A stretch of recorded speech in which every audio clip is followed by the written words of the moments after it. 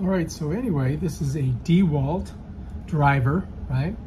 And I want to show you how it works. You got a little light here. This up here is the torque. The higher the number, the more, more torque.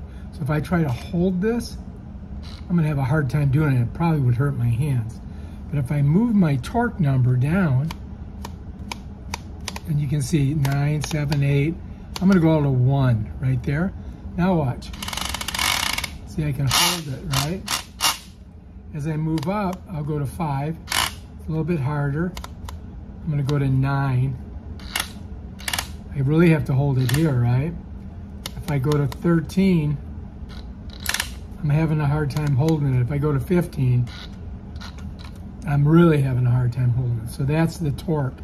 So depending on, you know, how hard it is for you to get the what you know your uh, screw or whatever it is into whatever you're trying to get it into concrete or whatever um, you're going to accordingly put your torque. If you really need a lot of torque you put it to 15 if you don't need that much maybe down here at 5 you follow me? Now to get your bit out you just turn it clockwise like that. So I'm looking at it it's going clockwise. And then I can pull my bit out. You follow me now to tighten your bit, you just stick it in like that. And if you want, you can put the torque down low, like let's say three, hold on to this head, and then just pull the trigger. And it tightens it. If you want it a little bit more tighter, you go up. You know what I mean? So it's in there. And that's basically how you do it. You want to get it off. So to get it off, I just go, if I wanted to, I could switch this and then just go like this, and it loosens it.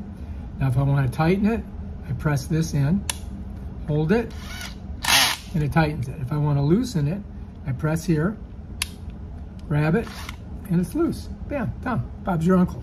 So you got two ways you can you can tighten it and loosen it. All right. I'm gonna put it on five. So I've got it on five torque. Now let's say I got I got my thing in there, but now I need to put a different one in. What I can do is come here, press this, grab a hold of the head and give it a little squeeze. And bam, it loosens up. You see that? Now I want to tighten it up. I just press it the other way, hold the head a little bit, and you see how that tightens up? So if your bit's in there, it's going to tighten around your bit. You can also just use your fingers to turn it, right? To open it a little bit to get it in. And then you can use your fingers to tighten it. But the easier way is just to do it that way, right?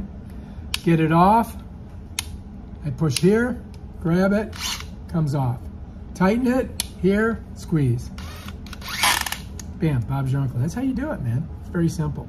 All right, if you like this video, subscribe to my channel. Check out my other awesome videos where I show you things like this DeWalt. This is a good driver, by the way, too. You guys will really like it. All right, peace out.